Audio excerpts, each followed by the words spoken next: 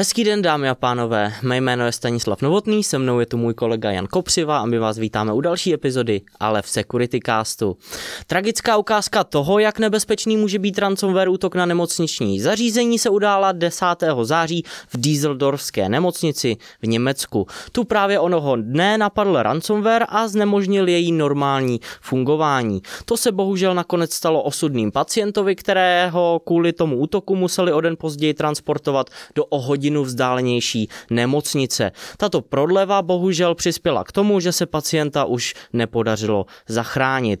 V minulém týdnu se ukázalo, že útočníci využili k útoku zranitelnost v Citrix ADC označenou jako CVE 2019 19781. Záplata pro tuto zranitelnost byla ale k dispozici už v lednu roku 2020.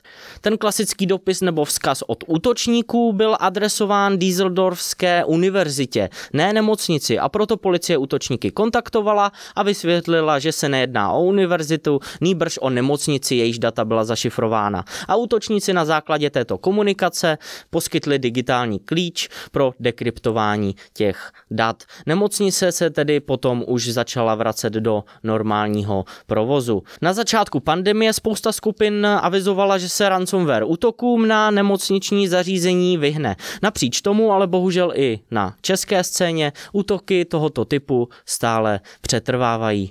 Po téhle tragické události se pochopitelně zvedla vlna kritiky směrem k šiřitelům toho ransomwareu, která poukazuje na to, že oni nesou ten primární podíl na smrti zmiňovaného pacienta.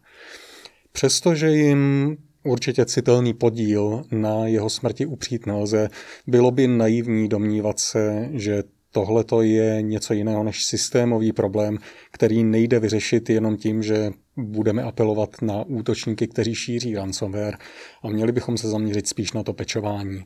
Konec konců ta zranitelnost, která byla v tomto případě využita, nejenom, že je staršího data, ale byla poměrně citelně medializována a hovořila o ní snad každá stránka věnující se IT nebo IT bezpečnosti.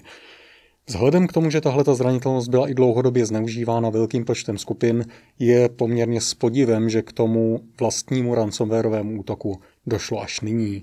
Lze předpokládat, že tam už předtím nějaká škodlivá aktivita byla a potenciálně byla detekovatelná, kdyby se někdo díval.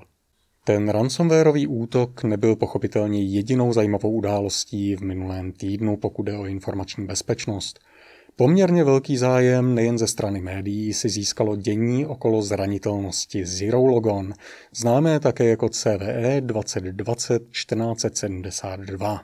Jedná se o zranitelnost, která využívá chybu v kryptografické implementaci ověřování šifrovaných zpráv v rámci NetLogon Remote protokolu, což je protokol, který se dá použít pro vzdálený přístup ke stanicím nebo k serverům, na níž běží Windows.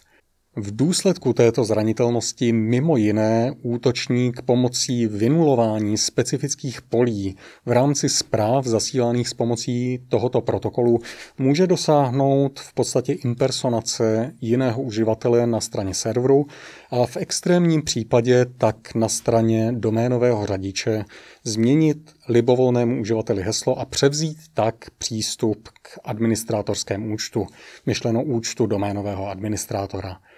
Vzhledem k tomu, že se tedy jedná o zranitelnost extrémně kritickou, není divu, že si získala větší zájem.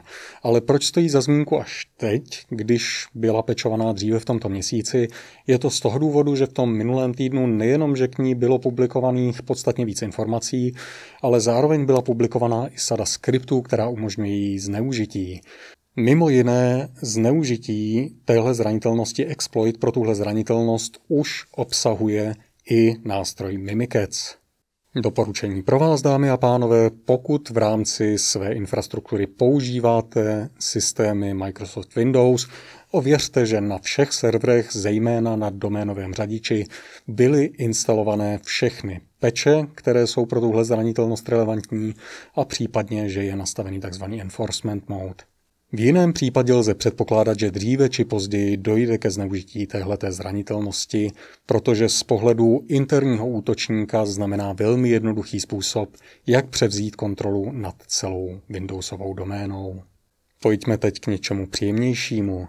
V minulém týdnu jsme vedle mnoha jiných věcí viděli i vypuštění nové verze Sysmonu do světa. Jedná se o verzi 12.0 a v této verzi Sysmon umožňuje vedle logování těch klasických událostí, které dokázal zaznamenávat už dříve, i změny v rámci clipboardu, čili v rámci schránky, v rámci kopírování. Má to tu výhodu, že v momentě, kdy je počítač nakonfigurován tak, aby Sysmon logoval změny ve schránce, jsme potom zpětně schopni dohledat po případném útoku, jaké příkazy, případně jaké hodnoty kopírovali útočníci do schránky. Ty hodnoty, které jsou ve schránce, jsou logované ve speciálním adresáři, který je nepřístupný jakémukoliv uživateli s výjimkou vlastního systému, čili i pro administrátora je pro přístup k ním nutné převzít tu roli účtu systém, aby byl schopný dostat se k těm zalogovaným datům. Čili rozhodně nehrozí, že by se jakýkoliv útočník k těm datům dostal, pokud by kompromitoval ten systém a byl tak schopný z historických záznamů dát dohromady, co měl uživatel ve schránce. Výjimkou je samozřejmě případ, kdyby ten útočník měl plný administrátorský přístup k takovému systému, pak z logiky věci něco takového hrozit může. Každopádně jedná se o velice zajímavý doplněk logovacích možností Sysmonu. To je od nás pro dnešek všechno, dámy a pánové. Děkujeme, že jste se k nám připojili a doufáme, že se k nám připojíte i příště. Naslyšenou.